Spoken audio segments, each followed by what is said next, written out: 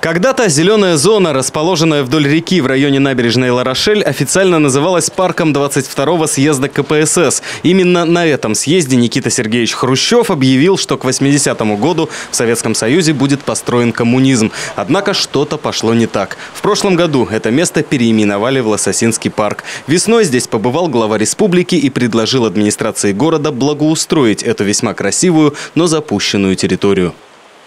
Я уже штабную работу начал проводить, кинул клич, и сразу два директора откликнулись тут же. Значит, Онежский судостроительный завод готов, готов сделать эти урны опрокидывающиеся, для того, чтобы можно было убирать. И наш э, Петрозаводск марш на чугунно-литейном заводе готов сделать скамейки. Ну и давайте какой-то, я не знаю, там э, молодежь, что ли, субботник какой-нибудь проведем.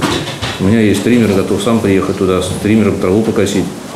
По словам сотрудников мэрии, проект благоустройства будущей парковой зоны уже готов. В его основе дипломная работа выпускницы лесоинженерного факультета ПетерГУ Анастасии Фенько. Проект предполагает обработку ландшафта, обустройство игровых и спортивных площадок, велодорожек, пешеходных троп, а также зон отдыха со скамейками и урнами.